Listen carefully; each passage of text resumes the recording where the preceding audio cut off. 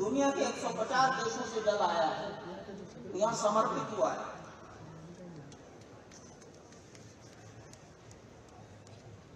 जो वादक आए हैं, उत्तर प्रदेश से पखावज और बांसुरी ढोलक, कर्नाटक से वीणा महाराष्ट्र से सुंदरी, पंजाब से अलगोजा, उड़ीसा से मर्दल, मध्य प्रदेश से संतूर मणिपुर से पुंग असम से नदारा और ताली छत्तीसगढ़ से तंबूरा बिहार से पखावट दिल्ली से शहनाई रा, राजस्थान से रावणहत्ता बंगाल से श्रीखोल आंध्र प्रदेश से घटम झारखंड से सितार गुजरात से संतार तमिलनाडु से नागस्वरम मृदंग उत्तराखंड से भूता थोड़ी ही देर में, मात्र दो मिनट में माननीय प्रधानमंत्री जी अपने स्थान से चलेंगे। अधिक से अधिक दो मिनट में आ जाएँगे। कार से उतरेंगे उत्तरी द्वार पर। फिर वो पैदल संत महापुरुषों के प्रति अपना आदर व्यक्त करते हुए उत्तर से पूर्व की ओर आएँगे।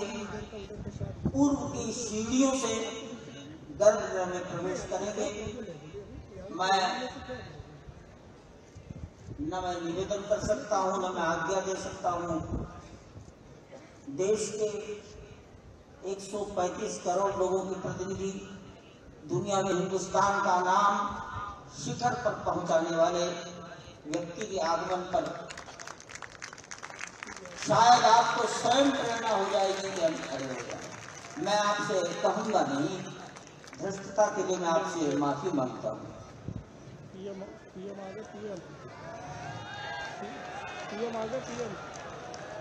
अभी नहीं अभी बैठिए अभी बैठिए अभी बैठने की कृपा करें जब वो पैदल चलकर आएँगे तो आपको लग जाएगा वो पैदल आने के लिए उन्होंने सूचना दी है।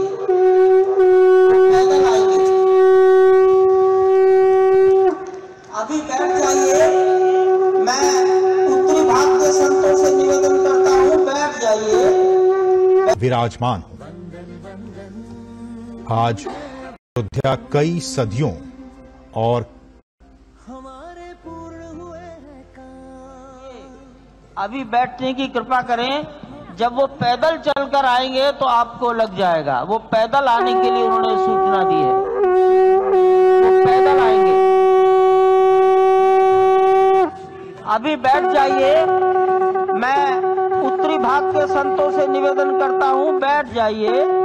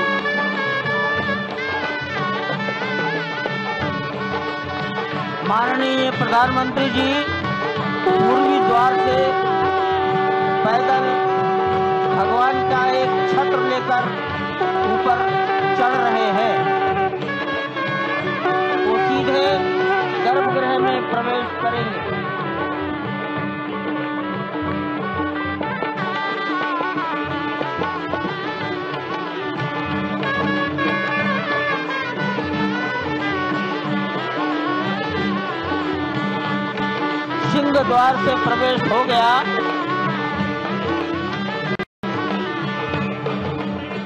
नृत्य मंडप में प्रवेश कर गए।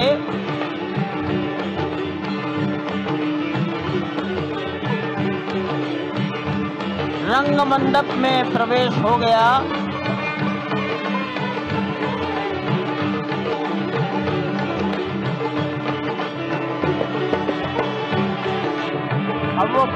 मंडप में प्रवेश करने वाले हैं। वहीं पर सब ट्रस्टीगण, राष्ट्रीय स्वयंसेवक संघ के सरसंघचालक डॉक्टर मोहन राव भागवत, उत्तर प्रदेश के माननीय मुख्यमंत्री योगी आदित्यनाथ जी, उत्तर प्रदेश की राज्यपाल महोदया आनंदीबेन पटेल राम जन्मभूमि तीर्थ क्षेत्र के अध्यक्ष नृत्य गोपाल दास जी महाराज उपस्थित है। केशव पाराशरण जी, वासुदेवानंद सरस्वती जी महाराज, युग पुरुष परमानंद जी महाराज, अन्य सभी ट्रस्टीगण वहीं पर उपस्थित है। बारह बजकर सात मिनट हो गया है। गर्भगृह में प्रवेश हो चुका है। चांदी के छत्र गर्भगृह में लिए गोविंद देव भगवान श्री राम के गर्भगृह की ओर बढ़ाते हुए एक एक कदम बढ़ाते हुए अनेक मंडपों को पार करते हुए पाँच मंडपों को पार करते हुए उस अद्भुत क्षण के साक्षी होने जा रहे हैं। जो विश्व में एक इतिहास रचेगा। श्री अयोध्या धाम जो। कि वैकुंठ का हृदय कहा जाता है आज अत्यंत प्रफुल्लित है। आज उल्लास। चारों ओर आज आनंद चारों ओर। क्यों न हो?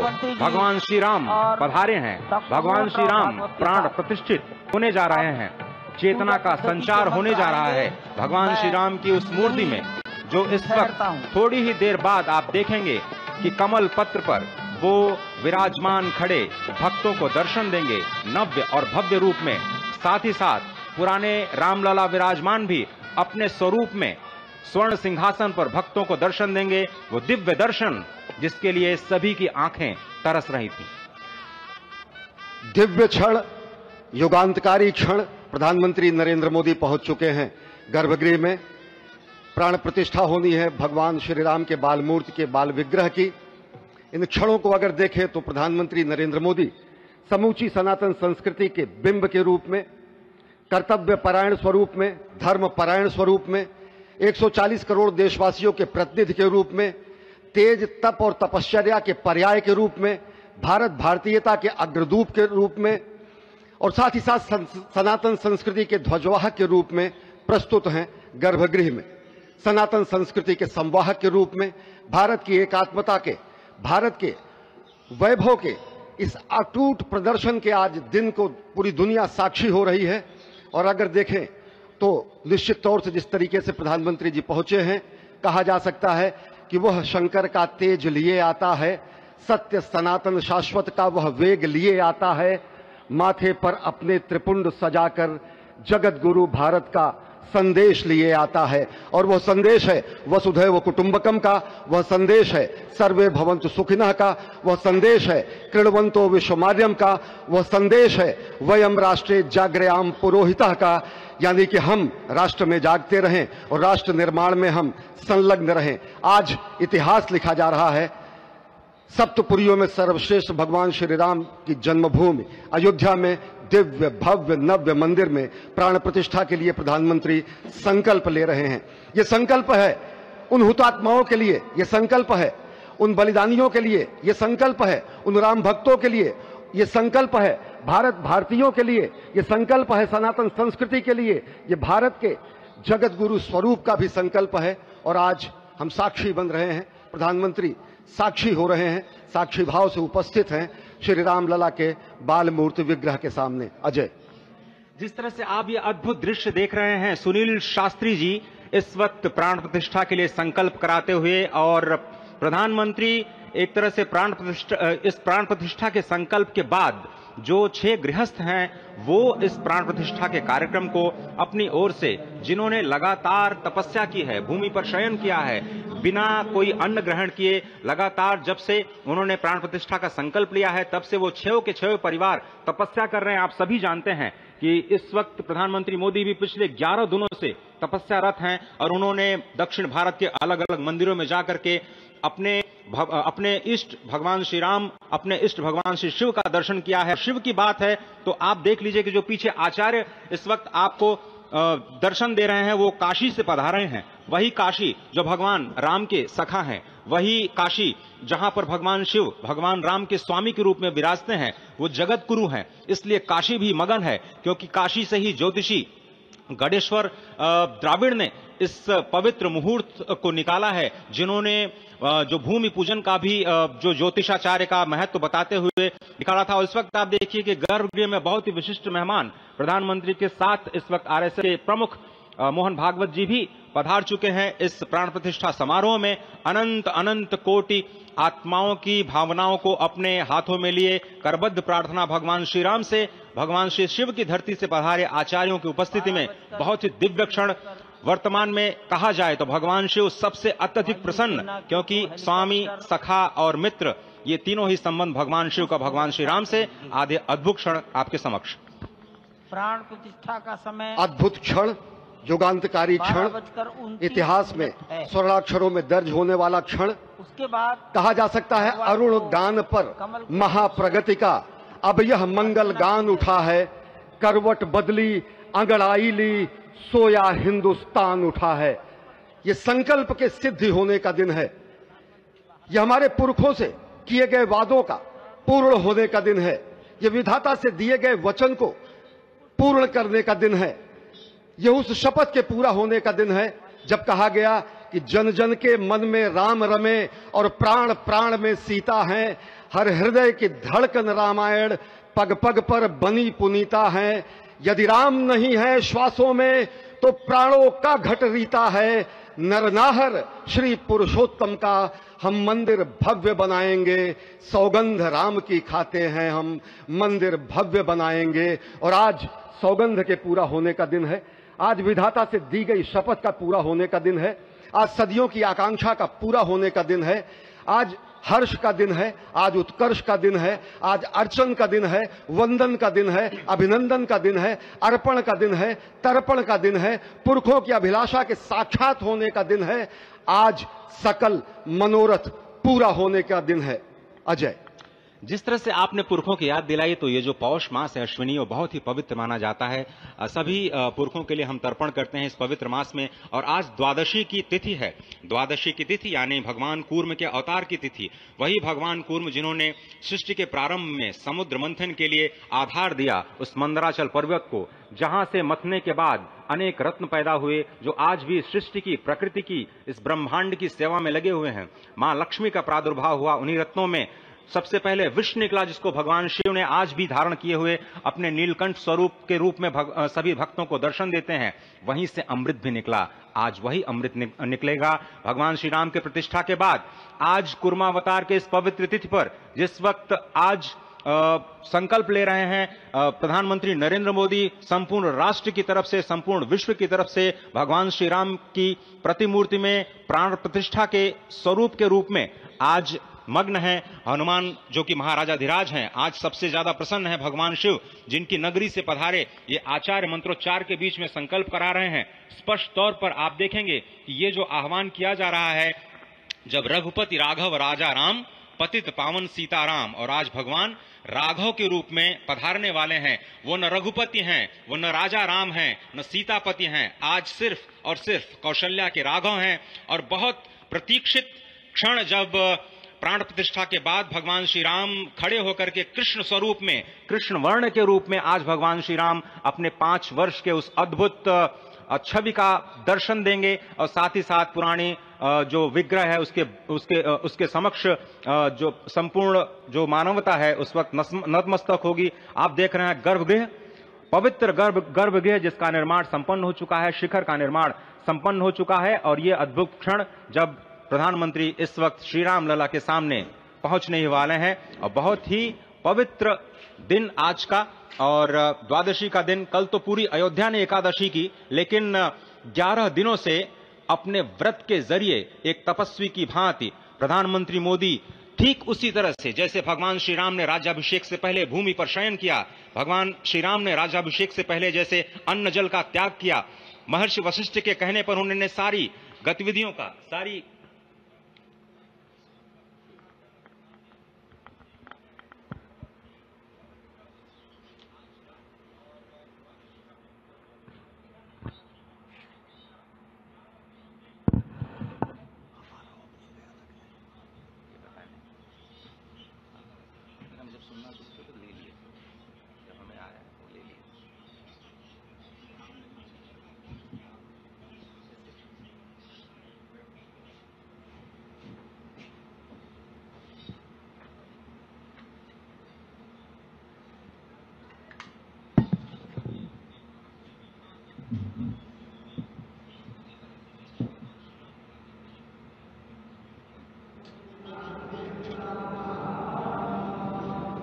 जन्मभूमि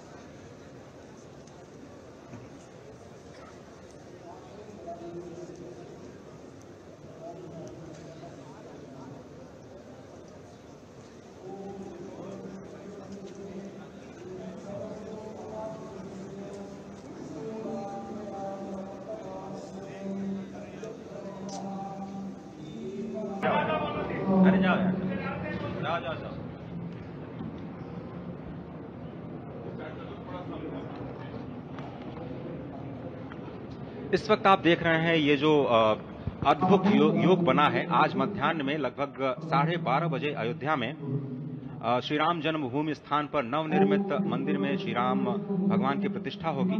ये मेष लग्न है वृश्चिक नवांश है और अभिजित क्षण है। मृगशीर्ष नक्षत्र है जो कि भगवान चंद्रमा के साथ जुड़ा हुआ है और आज सोमवार का बहुत ही अद्भुत दिन जिसमें ये परम योग बना है। इंद्र योग आनंद योग सर्वार्थ सिद्धि योग अमृत सिद्धि योग पूर्व कालामृतानुसार जो बाण पंचक सिद्धि योग नहीं होने से ये संजीवनी योग बन रहा है। आप स्पष्ट तौर पर समझे कि ये जो पंच बाण है, पंच बाण न होने से ये संजीवनी योग और लग्नेश मंगल में होने से नवमेश गुरु की परंपरा दृष्टि होने से राजयोग बन रहा है। इस अद्भुत क्षण में, इस अद्भुत योग में ये जो प्राण प्रतिष्ठा होनी है साढ़े बारह बजे, जिसके लिए चौरासी सेकंड्स का समय निर्धारित किया गया है, आप समझिए कि मकर में इस वक्त भगवान सूर्य हैं और उनके होते हुए पौषे राज्य विविध स्यात, यह बृहस्पति वचन यहाँ चरितार्थ होता है। तो ऐसे में मंगल प्रसंग में सभी को सम्मिलित होने का जो जो, अब जो प्रण है भगवान श्री राम को यहाँ पर लाने का जो मुहूर्त है वो अद्भुत है और इससे राम राज्य की प्रतिस्थापना करने में भारत को अवश्य अवश्य मदद मिलेगी और इसी इसी इसी संकल्प के साथ आज इस प्राण प्रतिष्ठा समारोह की शुरुआत हुई है और अब से थोड़ी ही देर में वो दिव्य क्षण आने वाला है जब भगवान श्री राम में प्राण प्रतिष्ठित होंगे। निश्चित तौर से वह क्षण समीप है, जिसका इंतज़ार सदियों से लोगों का था। वो क्षण समीप है, जिसका समूचा चराचर, यक्ष, गंधर्व, सुर, नर, हर कोई आकर उसका साक्षी बन रहा है। समूचे भारत के सभी पंथ, संप्रदाय, मत, मतांतर, सभी धर्मों के धर्माचार्य, महामंडलेश्वर, हर कोई यहाँ मौजूद है। और निश्चित तौर से अगर देखें तो इन्हीं क्षणों के लिए कहा गया है कि नमन करें इस मातृभूमि को, नमन करें आकाश को, बलिदानों की पृष्ठभूमि पर निर्मित इस इतिहास को। असंख्य जो बलिदान दिए गए, उस पर आज संकल्प की सिद्धि का दिन है। आज इतिहास तो अयोध्या में लिखा ही जा रहा है। आज एक नए सांस्कृतिक युग का सूत्रपात भी अयोध्या से हो रहा है। और आह्वान किया जा सकता है संकल्प के बाद पूरे देश से कि अरुणोदय हो चुका वीर अब कर्म क्षेत्र में जुट जाएँ, अपने खून पसीने से नवयुग धरती पर लाए। नवयुग की कामना, धरती पर नवयुग लाने की कामना हमारी ही संस्कृति करती है, जो सत्य है, शाश्वत है, सनातन है, जो वसुधैव कुटुंबकम की बात करती है। जो आनो भद्रा क्रतवो यंत्र विश्वता की बात करती है, जो सर्वे भवंत सुखिना, सर्वे संतु निरामया की बात करती है, जो संपूर्ण चराचर के कल्याण की बात करती है, हमारी ही संस्कृति है, जो समस्त समस्त विश्व में बंधु, बंधुत्व और लोक कल्याण के लिए प्रार्थना करती है, मंत्र देती है। अजय। और जिस तरह से हम कह रहे थे ये आप भगवान श्री राम का विग्रह देख रहे हैं जिन्होंने इस प्राचीन स्वरूप में इसी स्वरूप में लोगों को दर्शन दिए भगवान श्री राम भगवान भरत श्री लक्ष्मण और श्री शत्रुघ्न के साथ लगातार चारों भाई के बाल रूप में दर्शन देते रहे। और आज वो भी स्वर्ण के सिंहासन पर प्रतिष्ठित होंगे। और और साथ में ही दोनों ही मूर्तियों के जो दर्शन होंगे वो दर्शन को प्राप्त होंगे तीर्थयात्रियों को प्राप्त होंगे। बहुत ही आनंद का क्षण जब भगवान श्री राम कृष्ण मूर्ति में कहते हैं कि कलयुग में भगवान का कृष्ण है।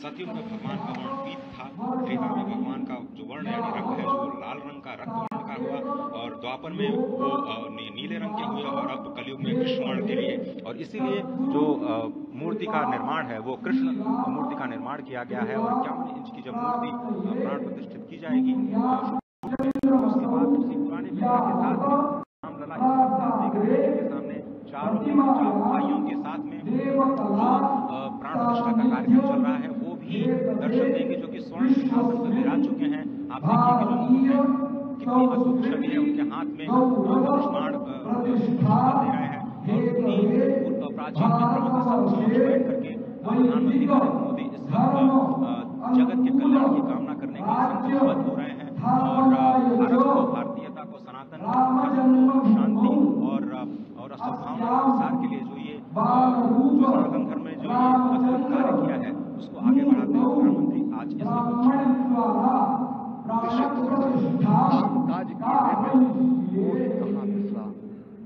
ये भावना हमेशा घनीभूत रही। प्रधानमंत्री नरेंद्र मोदी प्रधानमंत्री नरेंद्र मोदी वो क्षण देखा जब नौ और 10 नवंबर उन्नीस सौ नवासी को प्रधानमंत्री ने उस समय देखा अनिकेत एक लेख में साधना पत्रिका में, और उन्होंने कहा कि यह क्षण सांस्कृतिक स्वतंत्रता का जयघोष करता है। हिंदू चेतना प्रकाश स्तंभ का दिन है, जब रामशिला हुए और साथ ही साथ उन्नीस सौ नब्बे के दशक में आडवाणी जी की की प्रस्तावना में गुजरात में समन्वय भूमिका में रहे तत्कालीन भाजपा महासचिव के रूप में क्षेत्र को राधा उन्होंने भ्रमण किया उस भ्रमण के दौरान दौरान भी पड़ा जिसमें केवल जल का भोग करके ही छह से अधिक गाँवों में प्रधानमंत्री नरेंद्र मोदी ने इस रथ यात्रा का कुशल संचालन किया समन्वय किया सोमनाथ से अयोध्या की यात्रा के रूप देखें तो एक वीर व्रती के रूप नवरात्र समय जल पीकर अठारह घंटे से एक वीर के रूप में प्रधानमंत्री ने तत्कालीन महासचिव भाजपा के अंशदान किया। और अगर एकात्मता यात्रा की बात करें उन्नीस सौ बानवे में चौदह जनवरी को भारत कार्यकर्ता के रूप में उन्होंने शपथ लिया था यहाँ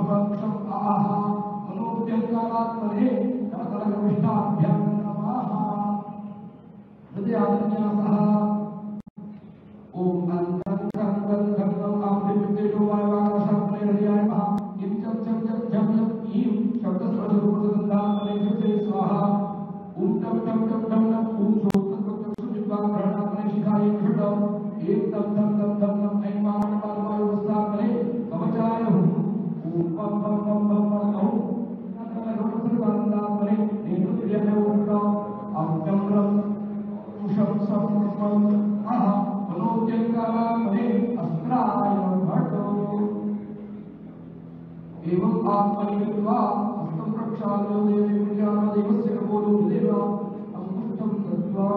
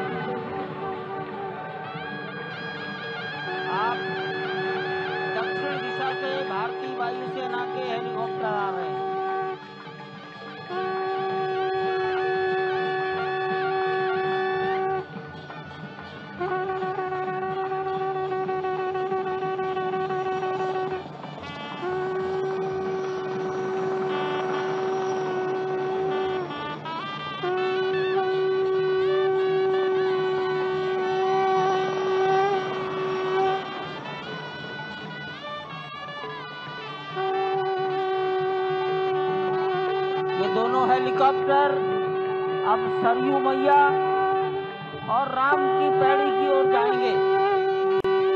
वहीं पर संपूर्ण भारत और संसार के मीडिया कर्मी, अर्थात electronic media, print media, social media YouTuber सब वहीं पर एकत्रित हैं।